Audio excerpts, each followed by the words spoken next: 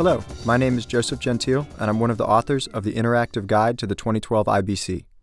This guide is a companion document developed as a means for architects to apply the provisions of the International Building Code 2012 edition during their design process.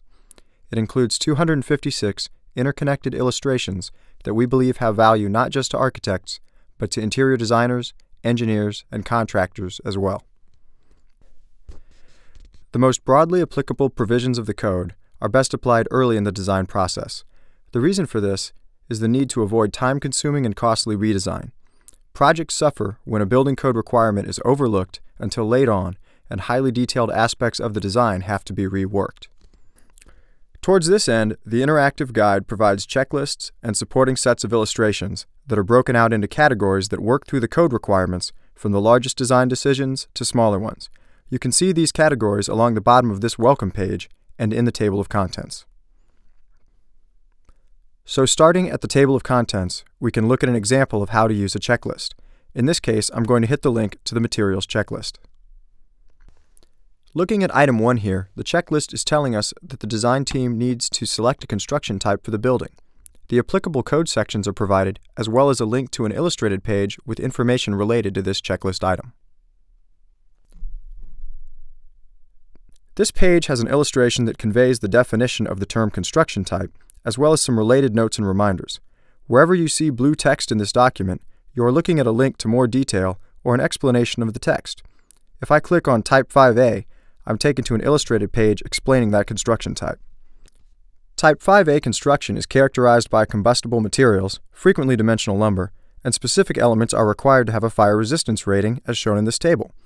One such element is primary structural frame, and it's also in blue text. So you can see how we are interconnecting ideas without a lot of searching or having to know in advance where to find more detail or related materials. This shows how to determine if a member is primary structural frame or if it is categorized as a secondary member. There are also links to more detailed information about requirements and opportunities that might not be apparent from just looking at the building code itself. In this case, it can be possible to omit fire resistance from specific secondary members based on their height above the floor below.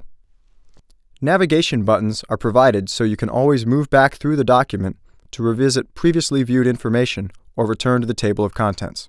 Another checklist and set of illustrations is entitled Building Organization, and it relates to requirements that inform decisions about placing the building on a site and arranging the components of the building.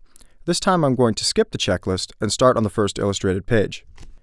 Each of the seven chapters starts with an illustrated page that lays out the content of the chapter. From here, we can look into fire department access requirements that might affect how the site is organized or requirements for restroom locations that have a role in developing the floor plan. As before, when we provide blue text, either in the illustration or in the group of associated images below, it is a link to related ideas.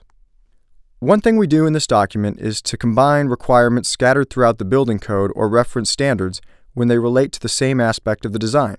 Accessibility requirements and egress requirements both have a role in the minimum spacing around doors, and instead of being in separate chapters of the building code, the information is presented simultaneously in this image. The document includes some how to use pages, calling out the features and types of information provided.